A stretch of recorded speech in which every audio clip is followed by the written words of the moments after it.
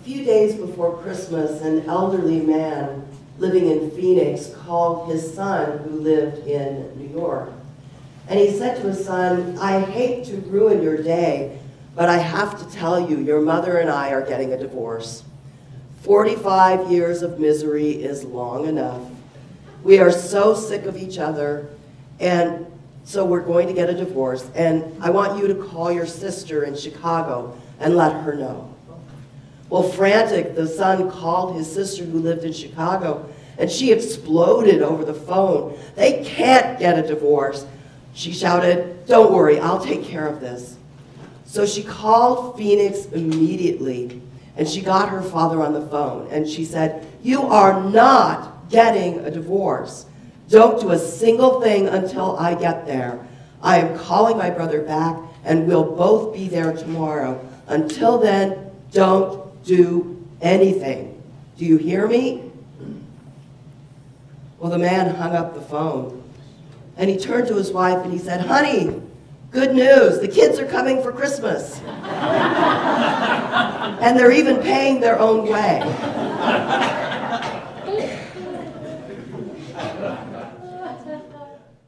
How many of you were with family for Christmas? And, how about Thanksgiving? Yeah, most of us. Yeah, we were too. Um, you know, the holiday season is probably the one time when many families get together and they spend time together. And you know, I think that's the way that it should be because holiday time really is family time. According to a good housekeeping article last October, at least 28 major real retailers were closed on Thanksgiving Day.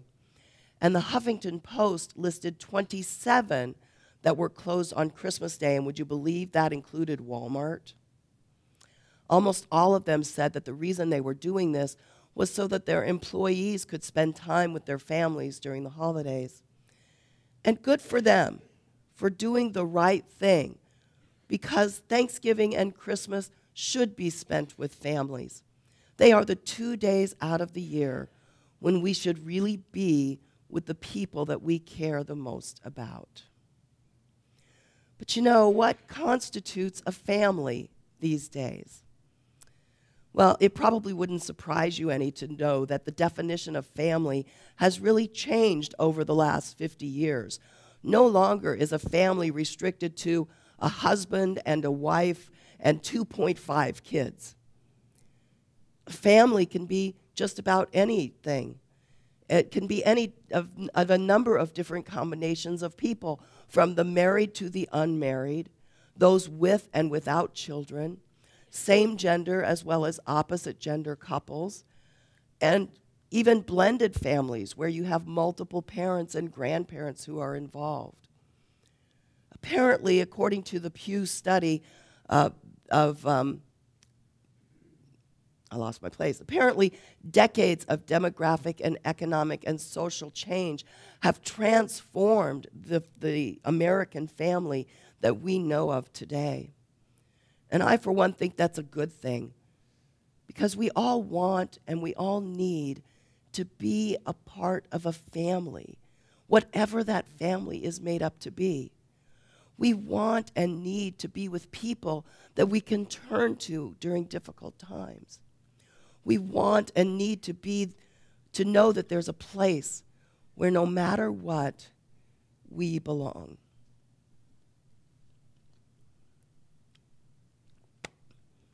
And you know, that's part of what our scripture from the book of Hebrews tells us today. Although the King James Version attributes this particular letter to the Apostle Paul, biblical scholars, ever since the Reformation, have argued that it probably was written by someone else. More likely, it was written by one of his followers or one of his students. In fact, some believe that it may have even been written by Priscilla, who was of a woman of Jewish heritage and who, along with her husband Aquila, promoted the Jesus movement all throughout the Gentile world. But regardless of who wrote the letter to the Hebrews, we find that it is filled with references to the Hebrew Bible, pointing toward Jesus as the fulfillment of ancient prophecy. And in the passage that we heard today, the author quotes Jesus quoting Psalm 22, where he says, I will declare your name to my brothers and sisters. I will praise you in the very center of the congregation. Here, the author of the letter to the Hebrews makes it clear that as far as Jesus is concerned, we are all brothers and sisters with God as our heavenly parent. In other words, we are all part of the family of God, regardless of who we are or how we may look. As believers in Christ, we are united into one family. We are brothers and sisters together, all children of God. And as family, we are expected to treat one another in a certain way, right? We are to love one another and be kind toward one another. We are to treat each other with dignity and respect. Because, as Jesus said in the parable of the sheep and the goats, I assure you that when you have done it to one of the least of these, my brothers and sisters, you have done it for me. Sadly, it doesn't always work that way in families, does it? Some families are torn apart by anger and by strife. Others are dysfunctional and don't always treat each other the way that God intends for us to treat one another. I know. I was part of a dysfunctional family. And from time to time, I witness dysfunctional families and the damage that they can cause to other family members and even their friends. I also see tr- people treat other human beings with condescension and contempt like they are somehow subhuman. But our scriptures make it very clear.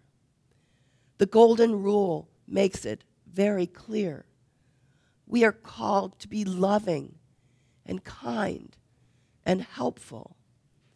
We are called to treat others with dignity and respect. We are meant to be brothers and sisters who get along, not brothers and sisters who are at each other's throats. Now, I know there are times when our emotions get the better of us and we fly off the handle, and the people that we love the most are the ones that are in the crossfire. And I also know that there are times when we see someone living on the street and we ask ourselves, why can't that person just get a job? and when that happens, we must ask for forgiveness. And we also must be willing to forgive, depending on which side of the offense we are on. We cannot allow our feelings get the best of us. But when they do, we must ask for forgiveness and be willing to forgive. Because as God's precious children, we are all a product of God's love. And we are united by that love into the family of God.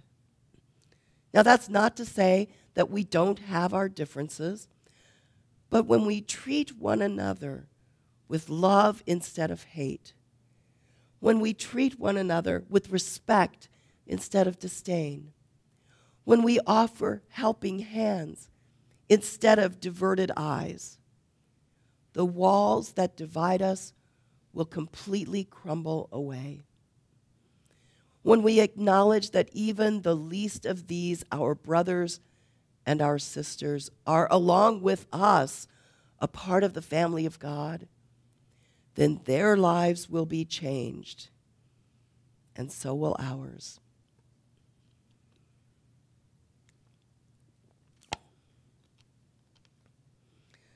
Reverend Dr. Fred Craddock, who is perhaps one of the greatest preachers of our time, tells a story of how he and his wife were on vacation once in the Smoky Mountains near Tennessee. As they were enjoying a quiet meal at an out of the way local diner, an elderly gentleman approached their table Good evening, the old man said. You folks here on vacation? Yes, Dr. Craddock hesitantly replied, not really wanting to engage in a conversation with a stranger. So, what do you do for a living? the old man asked. I'm a Christian minister, Dr. Craddock replied. A minister, the old man said. Well, now I owe a great deal to a minister of the Christian church. When I, I grew up not far from these mountains, my mother wasn't married when I was born, and the whole town knew it. I was what most would have called an illegitimate child, which in those days was shameful, and I was ashamed. When I went into town with my mama, I could see people staring at me, trying to guess who my father was. At school, the children said ugly things to me, so I kept to myself during recess, and I often ate my lunch alone. In my early teens, I began attending a little church back in the mountains. It had a minister who was both good looking and frightening. He had a chiseled face and a heavy beard and a very deep voice. I went to hear him preach, although I don't know exactly why, except that it did something for me. But I was afraid I wasn't welcome in that church because I was, you know, illegitimate. So I would go just in time to hear the sermon, and when it was over, I would leave because I was afraid someone would say, What's a boy like you doing in a church? Well, one day, some people blocked the aisle and I couldn't get out in front of everybody else. So I made my way down the aisle, and before I could get out of the church, I felt a heavy hand on my shoulder. It was that preacher, and I trembled with fear. He turned his face around and stared right into mine, and I knew what he was doing. He was going to try to guess who my father was. Whose boy are you? the minister asked. But before I could answer, his harsh face broke into a broad smile. Don't tell me, he said. Boy, you are a child of God. I see the resemblance. Then he swatted me on the backside and he said, Now go and claim your inheritance. The old man continued by saying, I left that building a totally different person. In fact, that was really the beginning of my life. Well, Dr. Craddock was so moved by this man's story that he had to ask the man his name. Ben, the old man answered. My name is Ben Hooper. And as it turns out, he was the same Ben Hooper who was elected not once, but twice by the people of Tennessee to be governor of that great state. We all want to belong. We all want to be part of the family. And thankfully, through Jesus Christ, we are all part of the family of God because every human being is a part of the family of God.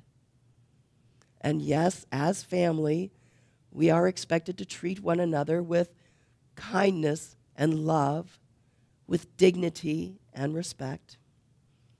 And when we fail to do these things, we must ask for forgiveness and be willing to forgive.